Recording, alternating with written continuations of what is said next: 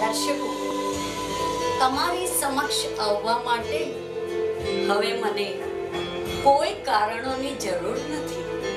કારણ મારી ને તમારી ઓળખાણ દિવસે દિવસે અત્યંત જૂની થતી જાય છે.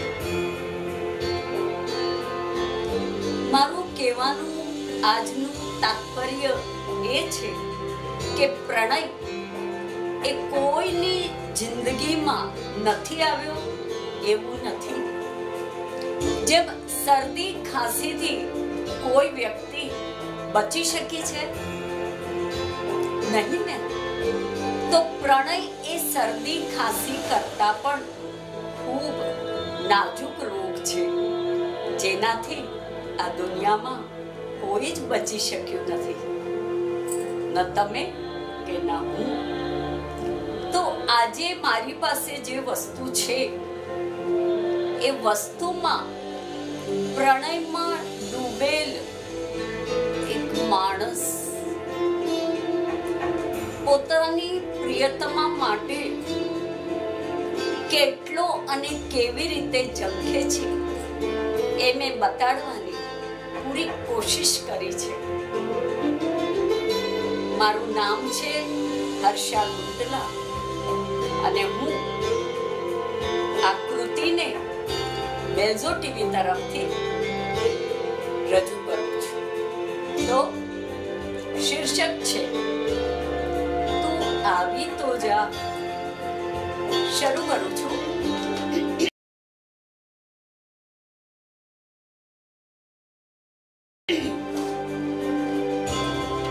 સખી તારા નામની તખતી દિલ પર કોતરાવવા માંગુ છું.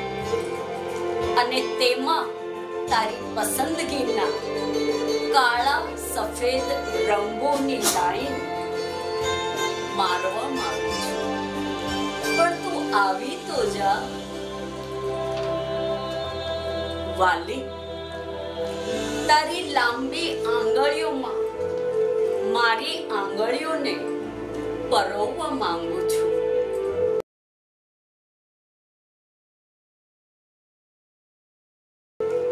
અને તારા હાથની કોમળતા હળવેકથી સમજવા માંગુ છું. પણ તું આવી તો જા. પછી છે. દરિયા કિનારે બેસી તારી હારે રેતીની ચક્રીઓ જોવા માંગુ છું.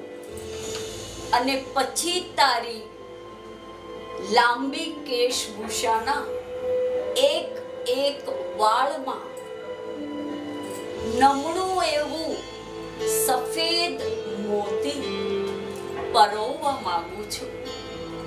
પણ તું આવી તો જા. આગળ છે. બરે બરફના સફેદ પથ્થર પર બેસીને તારી આતુરતાથી રાહ જોવા માંગુ છું. બાજુમાં બેસ. તારી નમણી લાંબી આંખોમાં કાજળની એક લાઈન ખેંચવા માંગુ છું. પણ તું આવી તો જા. પંક્તિઓ પછી નેક્સ્ટ પંક્તિઓ છે જે તમારી કોમેન્ટને જરૂર દાદ આપશે. નાળિયેરીના પંજામાં તને સંતાડીને નિશાના તારાની ધાર જેવી તારી નેણલીને નિરખવા માંગુ છું. આવી તો જા. ગમતી સફેદ મોજાની દરિયાના કાળા પથ્થર પર બેસાડીને માળવા માંગુ છું. તને ગમતી સફેદ મોજાની માળા દરિયાના કાળા પથ્થર પર બેસીને માણવા માંગુ છું. પણ તું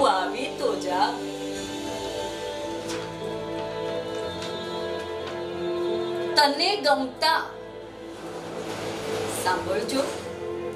તને ગમતા પારિજાતના સુગંધી પુષ્પોની કેસરી દાંડીઓ તારી રતુમડી હથેળીમાં મૂકવા માંગુ છું.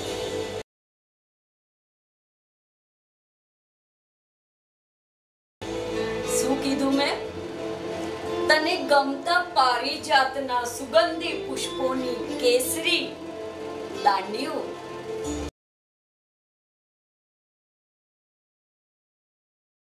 તારી રતુમડી હથેળીમાં મૂકવા માંગુ છું?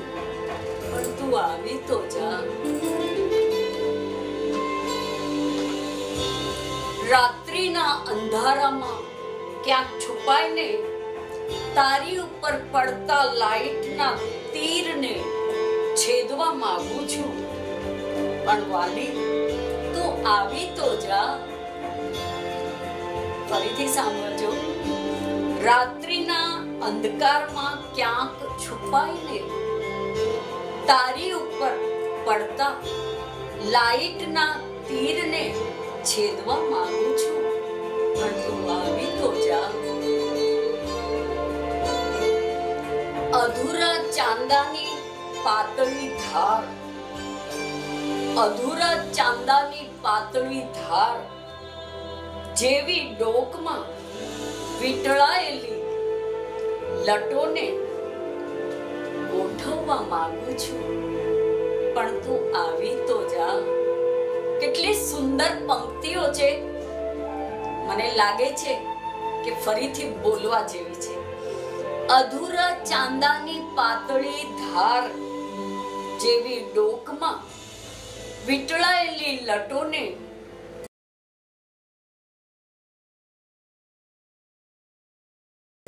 સરખી રીતે ગોઠવવા માંગુ છું.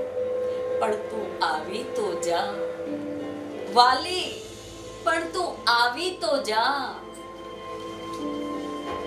ત્યાર પછી મેં લખ્યું છે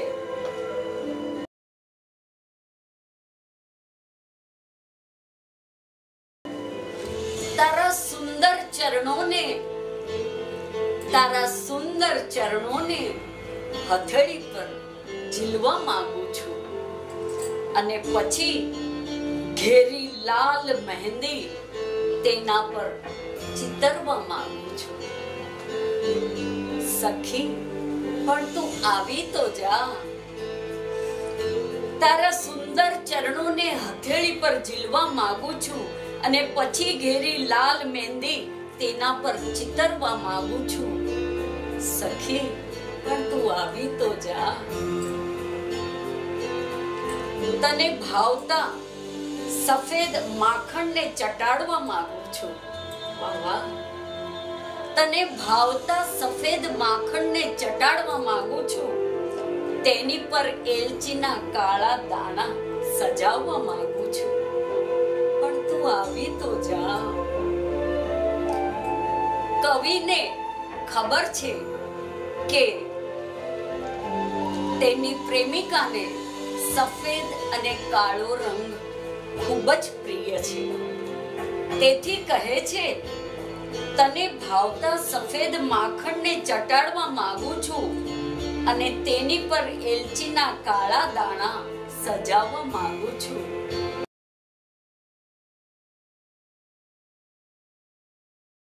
પણ વાલી, તું આવી તો જા. ત્યારબાદ પિસ્તામાં ડોકાતા પોપટી કલરની પાતળી પ્લેન સાડી પાછળના પોકેટમાં જ રાખું છું. પણ ઘેલી, તું આવી તો જા. સાંભળજો.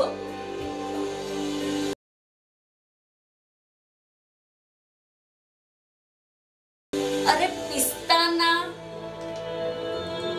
પિસ્તામાં ડોકાતા પોપટી કલરની પાતળી પ્લેન સાડી પાછળના પોકેટમાં જ રાખું છું. પણ ગેલી તું આવી તો જા. પછી છે, બહુ જ સુંદર કેટલીક પંક્તિઓ છે.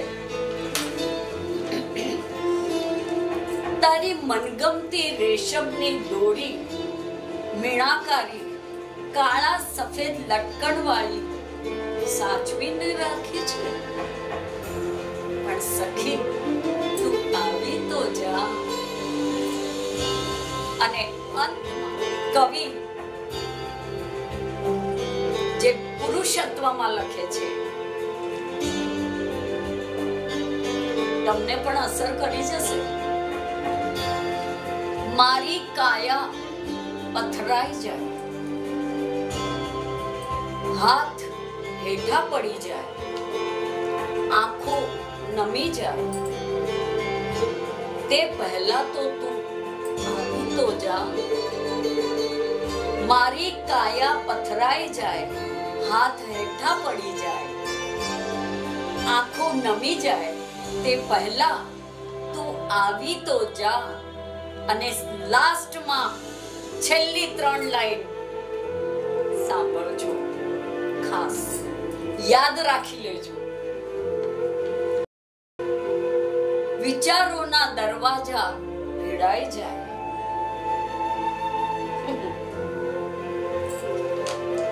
વિચારોના દરવાજા ભીડાઈ જાય. અંગૂઠા બંધાઈ જાય. સ્મશાનની રાખનો છેલ્લો કણ ઉડી જાય. તે પહેલા વાલી, તું આવી તો જા. છેલ્લી પંક્તિ હું ફરીવાર રિપીટ કરું છું. ખાસ યાદ રાખજો.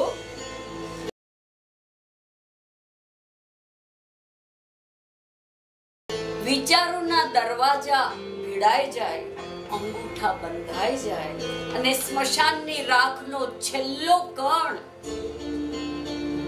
ઉડી જાય. તે પહેલા વાલી તું આવી તો જા. તું આવી તો જા તું આવી તો જા.